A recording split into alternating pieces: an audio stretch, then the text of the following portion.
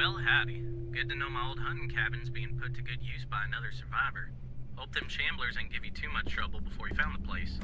I've got some ammo lying around that you can use, but unfortunately you won't see no guns around because I always take them with me after we get a shoot. I've also got some batteries in the supply room, so make sure you're always charged up. Don't want you to be stubbing your toes on every which thing while you're moving around. Speaking of which, there's some creepies lurking about in the darkness, so you'll want to stay in the light as much as you can. Anyway, we're about five days hike away. Hang tight and we could use someone like you in our party if you end up surviving. Good luck, buddy. Over and out.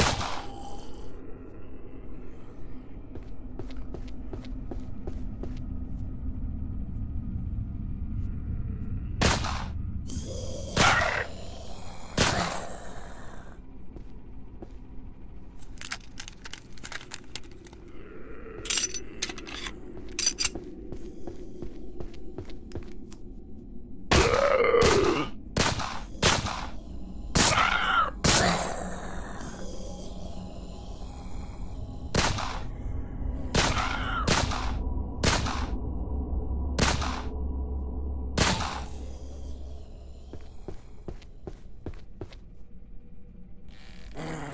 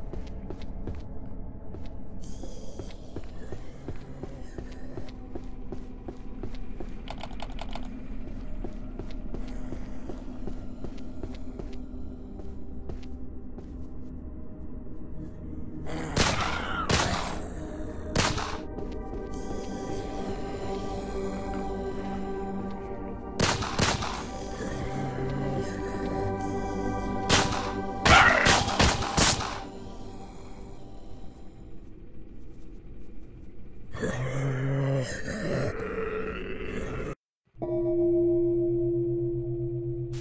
to see you survived your first night. I knew you had it in you.